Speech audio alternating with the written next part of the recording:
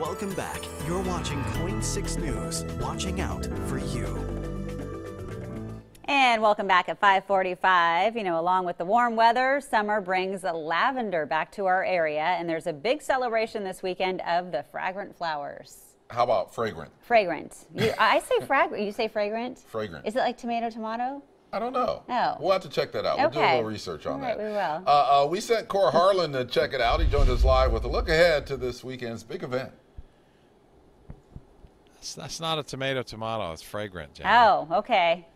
Right? yeah, come on. That's, that's Well, like fra- far be it for me to be Mr. Perfect English, but Yeah, I'm gonna, exactly. I'm going to take the high road here today. the Oregon, the Oregon Lavender uh, event is this coming weekend here, and there are 26 farms statewide uh, that you can go and tour.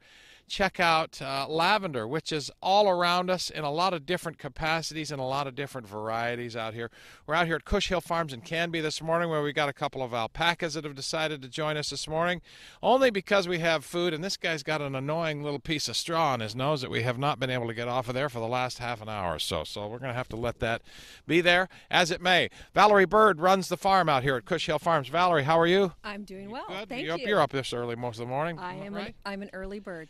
Let's talk about you're an early bird. Let's talk a little bit about lavender. I, I, I'm, I'm, I'm not a, I'm not a person who has some these things in his drawers, but this is one of the many products that people love, and they smell like so Mm-hmm. Yeah, they're good, great. right? Makes your lingerie smell wonderful. My lingerie smells wonderful all the time. I'll have you know that right now. Ahead. That's sorry. wonderful. Yeah, I'm. That's good to know.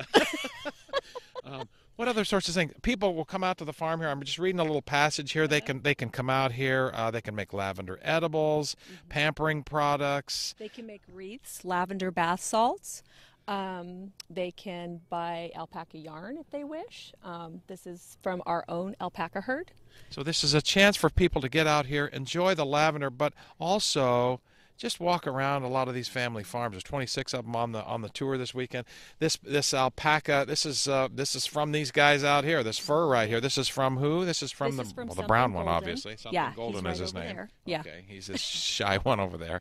But this stuff, you, you you sell us. You can actually work this into yarn, and, and there's a big market for this. People love. To, I'm I'm always amazed at how much people love to sew and and, and have yarn and stuff. Yeah, knitting is is huge in the United States. Um, but yeah, so this is um, bulk weight yarn, which is very popular right now.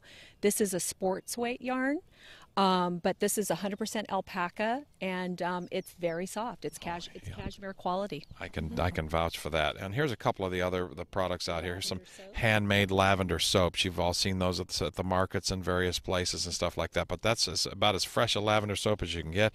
And these things that I use to keep my lingerie smelling nice. Mm.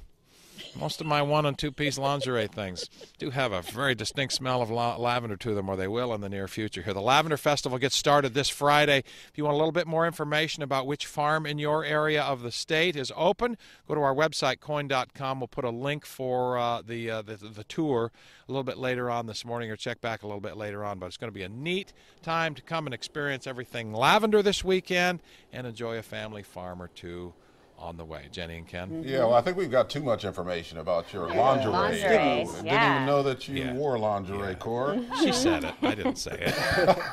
Oh, the visuals. All right. Yeah. Pointing the blame.